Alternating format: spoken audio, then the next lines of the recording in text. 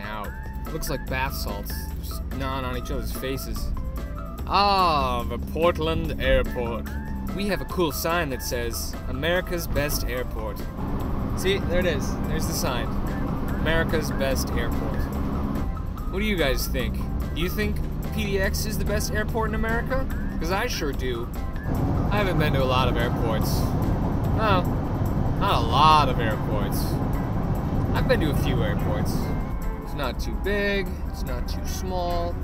And we used to have a really cool carpet, but now they tore it up because it was put in there in the 80s and I guess it was old or something like that. That carpet was an icon. When people start taking feet selfies with your carpet at the airport, then you know it's become a legend. One thing that's great about the Portland airport is the fact that it's so close.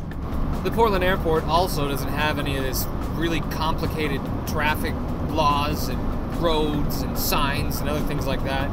There's one road, one single road. You go up to the airport and you go around the airport and you're out. You're done. It's great.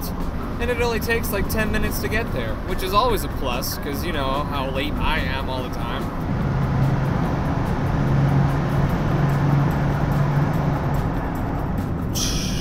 tunnel. Had to hold your breath in that tunnel.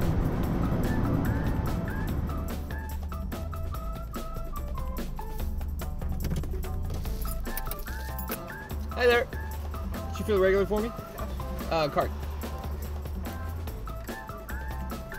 Maybe I should start doing things at gas stations. Guys, come up with a game that I can play at gas stations. Something funny that I can say or do to people.